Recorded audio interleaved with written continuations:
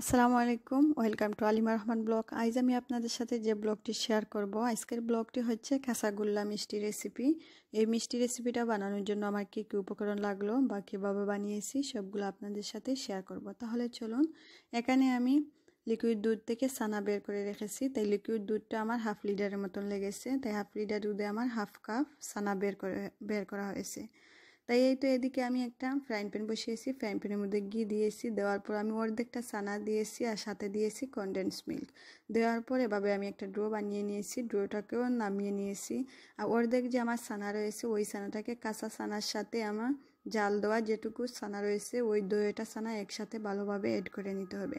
নেওয়ার পর অবশ্যই একটা দিকে খেয়াল রাখতে হবে। গরম গরম থাকতে কাঁচা সানার সাথে জাল দেওয়া সানাটা এভাবে ভালোভাবে মতে নিতে হবে। গরম গরম মতে নিলে তো ভালোভাবে পারফেক্টলিভাবে মিষ্টিটাও হয়, ড্রোটাও খুব সফট হয়।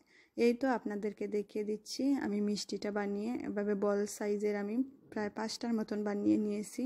যদি আপনারা দেখবেন যে মিষ্টি যখন বল বানিয়ে নিবে, তখন যদি কোনো রকমের ছিদ্র বা কোনো ধরনের ফাটা দেখা দেয়, তখনই বুঝে নিবে যে আপনার ড্রোটা মতে নেওয়া হয়েছে না, তখন আবারও ভালোভাবে মতে নিতে হবে।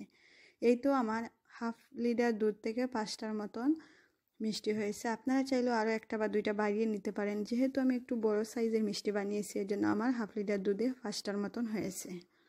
এই তো আমার আজকের রেসিপি আর সাথে যদি আপনাদের কাছে মাওয়া থাকে, মাওয়াটা দিলে ভালো হয়। তাই আমার কাছে মাওয়া ছিল না, দিয়ে দিচ্ছি মিল্ক পাউডার এই তো আজকের রেসিপি আপনারা সবাই ভালো থাকবেন। আল্লাহ হাফেজ।